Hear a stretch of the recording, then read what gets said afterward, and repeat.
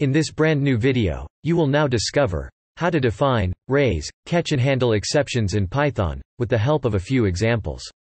So be sure to stick around, and watch till the end, if you want to handle errors in your program, without even interrupting its execution flow.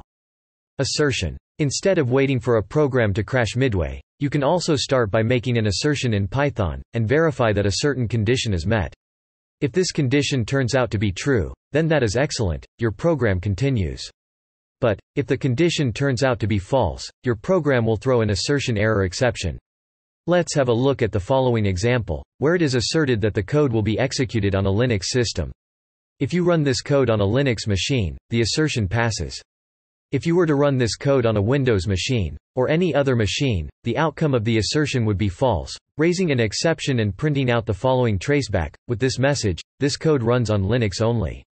In this example, throwing an assertion error exception is the last thing that the program will do.